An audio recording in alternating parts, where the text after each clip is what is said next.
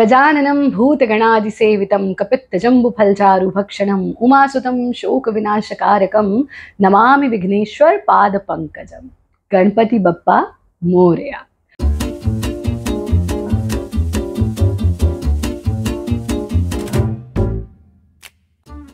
गणेश चतुर्थी की आप सभी को अनेक अनेक शुभकामनाएँ। श्री गणेश हमारी संस्कृति में मंगल के प्रतीक है। शुभ के प्रतीक हैं। गणेश चतुर्थी एक ऐसा पर्व जो बहुत सारी खुशियाँ लेकर के आता है, सुख समृद्धि लेकर के आता है और साथ में बहुत सारी मिठाइयाँ लेकर के आता है। और आज है टेस्टी ट्यूजडेज आप में से बहुत सारे लोग तो बाज़ार से मोदक खरीद रहे होंगे। बहुत सारे लोग सोच ही रहे होंगे, ये मोदक आखिर बनाए कैसे?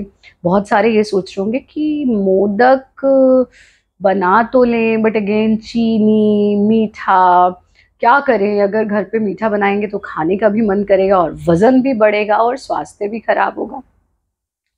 तो आइए अपनी मिठाइयों को बनाने का जो पारंपरिक तरीका है, उसकी तरफ़ लौटते हैं, जहाँ न चीनी थी, न चीनी के प्रयोग थे। कैसे बनाए जाते थे? वैसे तो मोदक बनाने के, मोदक को अलग आकृति में हम देखते हैं, वैसे लड्डू को भी मोदक कहा जाता है। लेकिन जिस आकृति की आप बात करें, उसी में बनाते हैं। और कैसे बनाना है मोदक? आज के टेस्टी ट्यूजडेज के एपिसोड में हम आपको तीन प्रकार से मोदक बनाने की तरीका, का तरीका बताएँगे। और ये जो तीनों तरीके हैं, इसमें एक भी तरीके में चीनी नहीं प्रयोग होगी, मैदा नहीं प्रयोग होगा, किसी तरह कोई आटा नहीं प्रयोग होगा। ये तीन तरह के, तीन टेस्ट के अमेजिंग मोदक आप घर पर बनाकर रखिए। बच्चों को खूब खिलाइए, ये आयरन रिच हैं। इसके अंदर देसी घी होगा तो हड्डियाँ भी मज़बूत होंगी, कुछ ड्राई फ्रूट्स होंगे। आयरन रिच क्यों कहा हमने? ये आप जब इसको देखेंगे तो आपको समझ में आएगा ऐसी क्या चीज़ डाल रहे हैं कि आयरन है प्रोटीन है बिकॉज़ इसमें ड्राई फ्रूट्स हैं।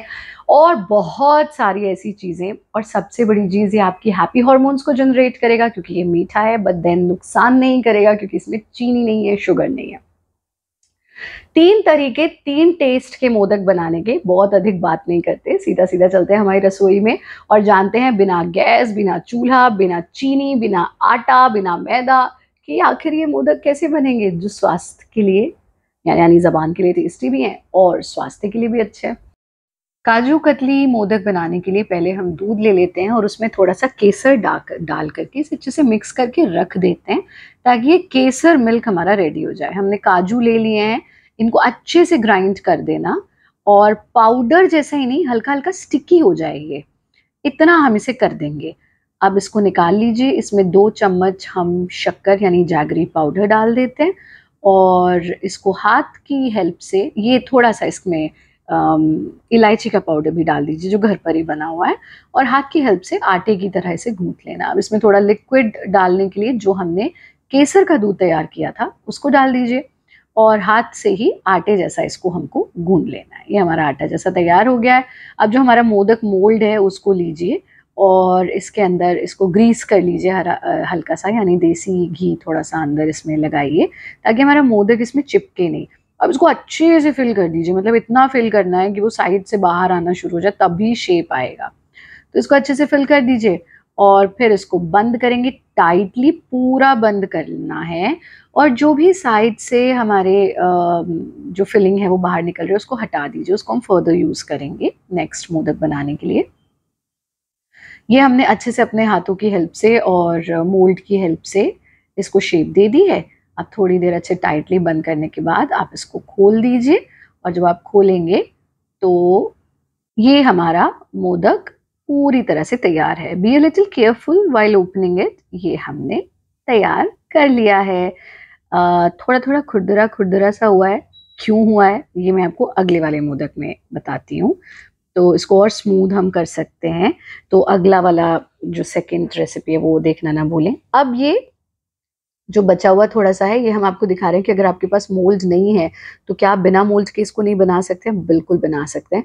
ऐसे अपने हाथों को ग्रीस कीजिए और लड्डू जैसी आकृति इसकी बना दीजिए और फिर इसके बाद हाथ से हम धीरे धीरे धीरे धीरे इसे मोदक जैसी आकृति बहुत आसानी से दे सकते हैं। तो इट इज़ नॉट नेसेसरी कि हमारे पास मोदक मोल्ड हो, तभी हम इसे बनाएँगे। मोदक मोल्ड ईजी हो जाता है, बस शेप देना, उतनी बात है। ये हमारा बिना मोल्ड के हाथ से बना हुआ मोदक तैयार। अब हम चलते हैं हमारी दूसरी रेसिपी पर। ये हमारा पहला जो काजू कतली मोदक है, वो एब्सोल्युटली रेडी हो गया है। और अब ये जो केसर मिल्क था, इसमें जो केसर बीच बीच में है, उससे हम इसको थोड़ा सा डेकोरेट भी कर सकते हैं ताकि ये और खूबसूरत लगे, सुंदर लगे। तो ये जो केसर थे, वो हमने दूध में से निकाल के इसमें डेकोरेट कर दिए। So this is our first kaju katli modak ready दूसरा हम बनाने वाले हैं नारियल ड्राइड नारियल को कद्दूकस किया हुआ हमने ले लिया है और इसमें हम jaggery powder again no sugar हम सिर्फ़ जागरी पाउडर शक्कर यूज़ कर रहे हैं, इसे मिला दीजिए। यही जो केसर का मिल्क था, उसको डाल करके बस इसका अच्छे से डो बना दीजिए।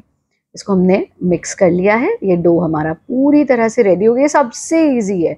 मोस्टली uh, लोग इसमें uh, वो क्या आता है ना मिल्क कौन सा प्रोसेस्ड टाइप वो लगाते हैं बट उसकी ज़रूरत ही नहीं है अपने हाथों को ग्रीस किया। अब ये हमने आपको कहा था ना पिछली बार वाला थोड़ा स्मूथ नहीं था तो क्यों? पहले से हाथों से ग्रीस करके इसे लड्डू बना दिया हमने। अब इसे ग्रीस्ड मोल्ड में डाला है तो फिर आपका ये एकदम सॉफ्ट यू नो खुरदरा नहीं होगा बिल्कुल भी इसको प्रेस किया और जो भी एक्स्ट्रा है उसको निकाल दिया। अब इसको आप खोलिए।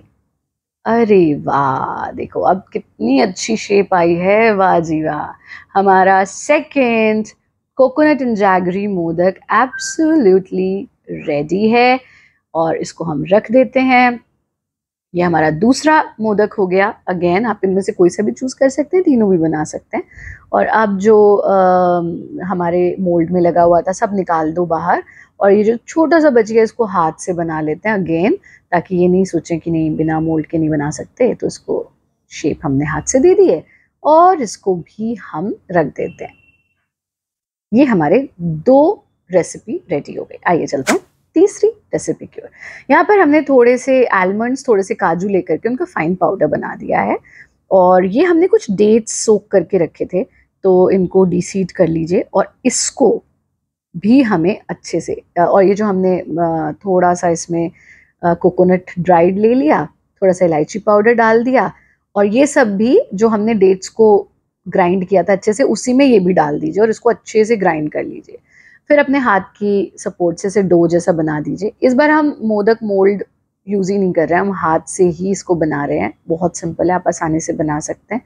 इसमें से ड्राई फ्रूट्स हैं थोड़े से ड्राई कोकोनट है और डेट्स हैं। Again it is highly rich in iron और प्रोटीन इसमें है और आपके ड्राई फ्रूट्स होने से ये बहुत बहुत हेल्दी है। ऐसे लड्डू भी बना सकते हो आप। तो ये हमारा हो गया काजू कतली वाला मोदक, ये हो गया कोकोनट एंड जैगरी ये हो गया dry fruit coconut and dates भोग लगाना मत भूलिएगा, खाने से पहले।